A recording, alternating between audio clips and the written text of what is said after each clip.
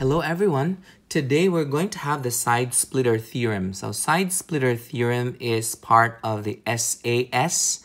Before we jump into this uh, state statements that we have over here, I would like you to notice that this picture that we have here is made up of two triangles. So the first triangle that we can see from here is the uh, big triangle without that uh, line in the middle that's the big triangle without of course without these letters B and C. That's the big triangle. We call this as ADE now this line BC splits the triangle into two. So now we have a small triangle. The small triangle is on top and then the big triangle which is the whole thing but uh, they are sitting at exactly the same angle right here. So these angles that this angle that we have here is the same for both of them. That's the reason why this is SAS.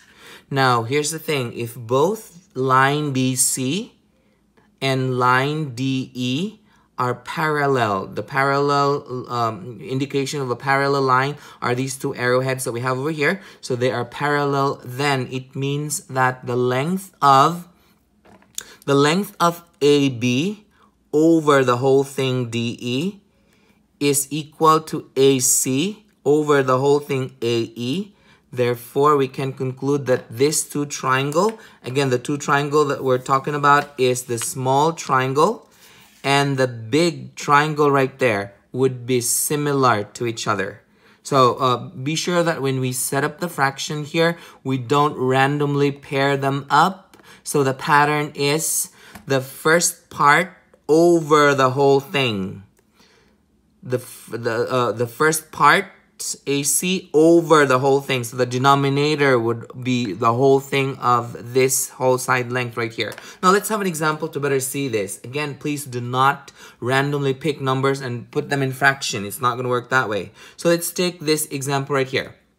So I have here this um, x and the whole thing is 99 and then we're looking for x right there. So in order that we can set this up, we can have, again, it starts, this. by the way, these two lines are parallel. So that means the formula that we, we talked about in the first slide is the same formula that we're going to use over here. So that would be x over 99 is equal to, so that's uh, the uh, uh first part over the whole thing, 50 over the whole thing is 90. And then from here, we're going to cross multiply these two and cross multiply these two.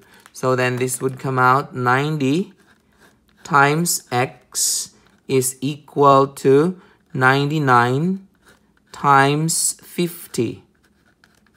And so this becomes 90x equals 99 times 50 is 4,950. So then we divide both sides by 90 divide this by 90 we can cross the 90 out. So then it means that our x is 55 so this length right here is 55 now let's check if we got uh, those two fractions um, equal to each other. So let's check that over here. So we have 55 over 99. Again, the, the only way that we, we would know if we got our x correct is to check it. So 55 over 99, is that equal to 50 over 90? So I'll set it up over here on the calculator. So I'm going to divide it. So that would be 55 divided by 99. So that's the number right there. Now I divide 50 divided by 90 and so they are a match. That means these two are equal to each other. So that means our x value, which is 55, should be correct. Because if you take this as 54, they're not going to match up. So it's not going to work. So x is 55. Now let's try another problem right here. Okay. So as you can see on this problem here, we are missing this part right here and we're missing this part and we need this part in order that we can um, solve for the x. So first thing that we need to remember here, this side should be since we, we say that the whole thing is 39 and this is 13, we can therefore set up this equation to be 39 minus 13. So that means the whole thing minus 13 should be this side right here. And so 39 minus 13 is 26. So this side right here is 26. Now, looking at this side right here, we do the same thing. So we're going to look at this side what is the expression over here. So we, we know that this is x and this is 12, just like how we did over here. 39 minus 13. So we do the same thing here. But it's not a number, but it's an x. So that would be x minus 12 is our um, expression for this side. So this is x minus 12. So then from here, we can set up the uh, we can set up the equation to solve for x. Again, we, we take the first uh, part, so that would be x minus 12 over the whole thing is x is equal to 26 over the whole thing is 39. So we were just using this 13 to get the 26 and we were using this 12 to get this side length right here. So from here, we are going to cross multiply these um, two right here. So I'm to cross multiply these two. I'm going to cross multiply these two. So we are left with 20. So that's going to be x times 26. And then um, that would be equal to 39 times x minus 12.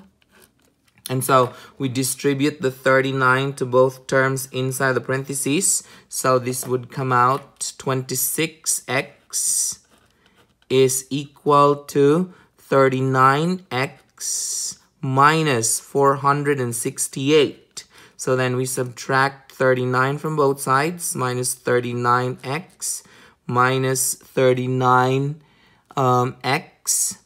So this means we can cross the 39x right here. So we are left with negative 13x is equal to negative 468. Then from here, we divide both sides by negative 13. Divide this by negative 13. So we're left with x is equal to 36 and that would be positive because we have both negatives would be a positive. Okay, now let's try to check if we got the same, if these two fractions would come out the same. So since we know that the x is, so again, this time around, we are checking. So let's check if these two fractions are equal. So our x is 36.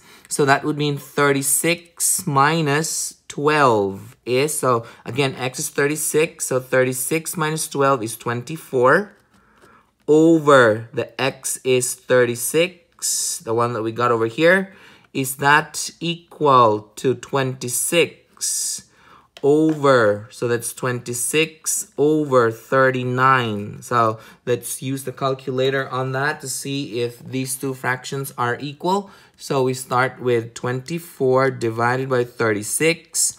That's the answer right there. Then 26 divided by 39. And that's the answer right there. It's a match. So that means this these two fractions are equal each other. And so our value for x is correct. And that is 36. If you find this video helpful, hit like and subscribe for more math videos. See ya!